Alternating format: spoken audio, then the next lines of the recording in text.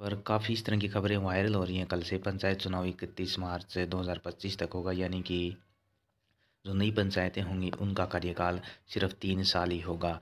तो काफ़ी वायरल खबरें हैं, क्या ये सही हैं? आइए देखते हैं इसके साथ साथ पुरानी पेंशन बहाली पर भी एक खबर वायरल हो रही है तो ये सारे कुछ हम यहाँ देखने की कोशिश करते हैं।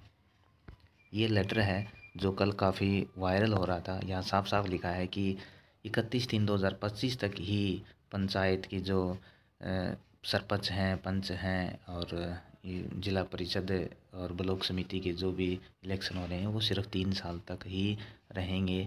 यानी पाँच साल की जगह तीन साल तक इनका कार्यकाल रहेगा, ये लेटर काफ़ी वायरल हो रहा है। लेकिन इसके बाद राज्य चुनाव आयोग ने वायरल हुए पत्र को फर्जी बताया है।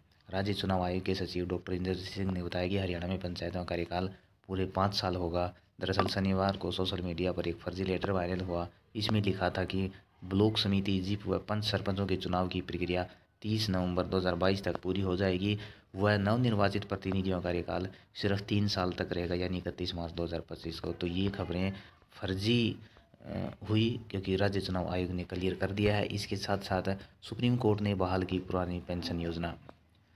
सुप्रीम कोर्ट ने पुरानी पेंशन योजना बहाल करने का ऐतिहासिक फैसला किया है देश के सभी राज्यों को आदेश दिया है कि सभी राज्य अपने कर्मचारियों को पुरानी पेंशन योजना का लाभ दें। तो ये खबर भी काफ़ी वायरल हो रही है, लेकिन कोई इस तरह के लेटर आधिकारिक नहीं हो रहे। तो जो भी सूचनाएँ हैं, जो भी हों, वो ऑथेंटिक हों, उन्हीं को फॉरवर्ड करें।